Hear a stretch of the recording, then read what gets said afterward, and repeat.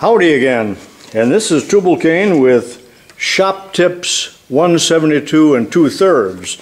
Now if you haven't seen the other two in this series, which is uh, 172 and 172 and a third, make sure you look at those, and those are also about the Whitworth uh, quick return mechanism, and this is a continuation on it, but now I'm actually out at the real machine, and I'm going to measure it uh, on the machine rather than on the mock-up uh, teaching aid which was in the previous two videos. So be sure and go back and watch those if you haven't seen them or this will not make any sense at all to you. This part of the Rhodes shaper is called the ram and uh, on the tool post here I have another kind of ram and that's the Dodge ram and be sure and watch uh, the end of this video because in that I will discuss the disposition of my Ram truck, which you might have seen in a few other videos. I intend to use my Radio Shack stopwatch for this, but I have set up this shaper so it's running so slow that I actually could uh, time the strokes with one of these old uh, hourglasses, like from The Wizard of Oz. In eighth grade, I went out for track because I thought I'm fairly fast even though I was small. Well, the uh, coach uh, timed everybody, I think, on the 100 yard dash. And uh, when I got done, he said, Peterson, you're so slow I could have timed you with an hourglass. Kind of hurt my feelings and I never forgot it. But coaches could be cruel. Please, no comments from the safety Nazis, but actually, if you remember, I have banned safety Nazis from watching any of my videos, but I did have to remove the homemade guard from this uh, uh, belt system here in order to do what I'm going to do. And uh, what I have done here is I've disabled the regular drive motor, so that's just going to be idling. There's no power to it at all. And I mounted at great effort this uh, right angle uh, gear drive here, and that's going to run this thing really slow, actually too slow but uh, you'll see what I'm going to do here in a second. So this is just a temporary mount here, some heavy tubing, and I've used about uh, uh, six C-clamps here, so it's all just temporary. Luckily I own 150 C-clamps, so it was no hardship at all. But take a look at how slowly this thing runs when I turn it on now.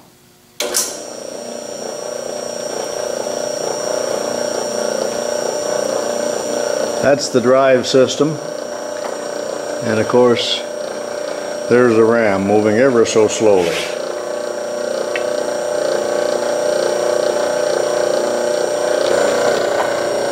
With my temporary uh, drive system there, the shaper is running at about four strokes per minute. And looking in the uh, works here, you can see the big bull gear and the the spur gear, the drive, which is the drive gear, and uh, the uh, Scotch yoke, and then of course it all comprises the Whitworth quick return mechanism discussed in the earlier videos, but this might give you a, a little idea of what's happening, but uh, not, not, so much, and that's why I went to all the effort of building that uh, teaching aid in the previous videos. Make sure you keep that cover closed in normal use. I've got the shaper set for a rather long stroke, about six and a half inches. In fact, seven inches is the maximum. And the reason I did that is that uh, then I can get relatively large uh, numbers uh, to measure both the return and uh, the cutting stroke so I can compare the two. Remember, that's what I'm looking for here is a ratio with uh, whole seconds rather now than uh, messing around with hundredths of a seconds like I did on the other uh, teaching aids. Here I go, measuring the cutting stroke or the forward stroke. And that's eight seconds. And here I am measuring the return stroke. Six seconds, and I'm not counting the hundredths. So I have six and eight. So to wrap it up here, the forward or cutting stroke was 8 seconds, the reverse or return stroke was 6 seconds, and that gives us a 6 to 8 ratio, or simplifying it, a 3 to 4 ratio. So you can easily see here that the uh, reverse or return stroke was faster than the cutting stroke, and that is what the Whitworth quick return uh, mechanism is all about. Just a quick note on the uh, direction of rotation here that normally the big bull gear is going to uh, turn clockwise and that'll give you a faster speed in return uh, than it does for cutting. But uh, one man was quick to uh, comment on that, saying that all of the larger shapers he was familiar with had forward and reverse switches. So there were times when they ran it in reverse, so you had a uh, faster uh, forward motion because they were doing slotting operations or, uh, or keyway operations where they were actually cutting on the backward stroke. So in that case, the uh, forward stroke was the faster stroke and the return stroke was the cutting stroke. So that is why you might see some of these machines with a with a reversing switch rather than just a, a on and off switch such as this one has. Time for a little comic relief and some of you are saying uh, yeah very little uh, relief but uh, this uh, Dodge Ram when mounted on uh, the shaper ram. I guess you could call it the ram ram. But keep your head out of the way when you set up a shaper. If you got your head down close to the work and you're examining something, you turn the shaper on and with a faster stroke it's going to come and uh, butt the heck out of you. So beware of that. That'd be one of the most uh, dangerous things uh, concerning the metal shaper. So Mr. Bobblehead here thinks that he can uh, hit the ram around, but he's not going to do it. Ouch.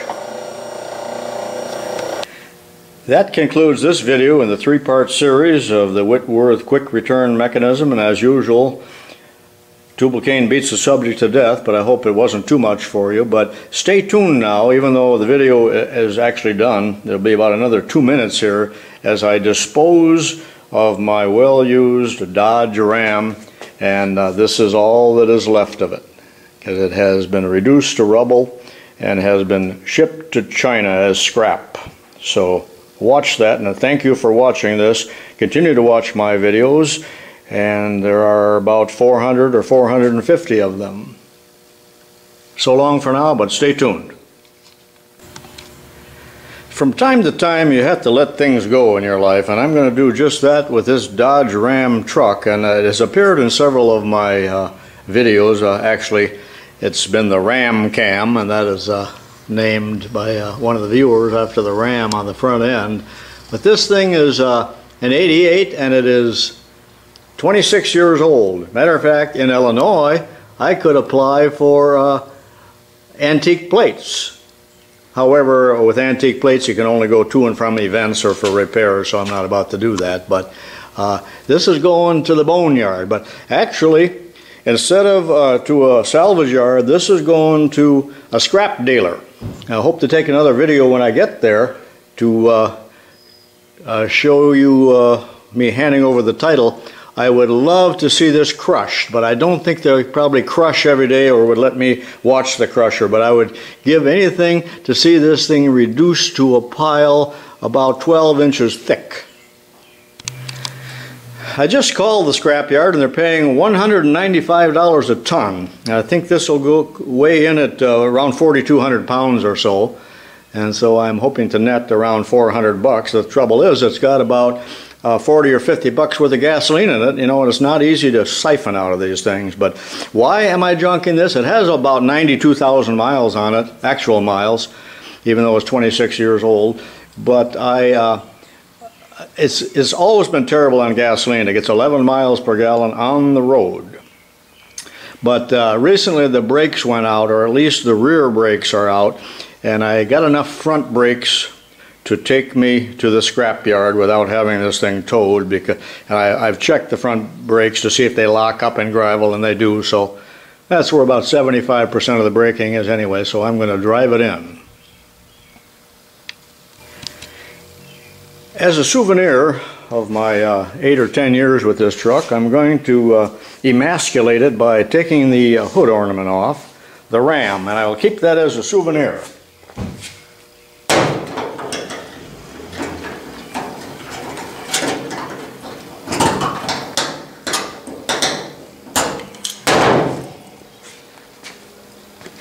Perhaps I'll use this as a ram cam. And that is a neat piece of sculpture, even though it's kind of schmaltzy, I suppose. But, you know, they don't use hood ornaments anymore. Too much wind resistance. And too dangerous if you hit somebody, I suppose. Although this thing would butt you. One last look at the Dodge Ram from the side out in daylight. You can see how bad it's gotten. There's no paint on the top of the cab at all.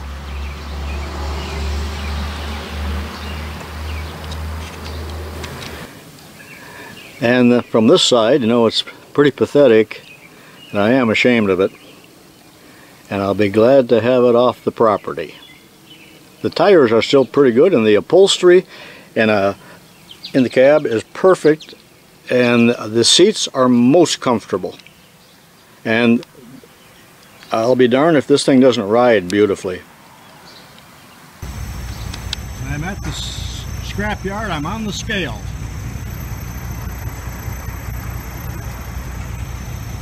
He's going to check the VIN number, make sure this isn't stolen, and uh, reduce it to a uh, pile of rubble. Send it to China.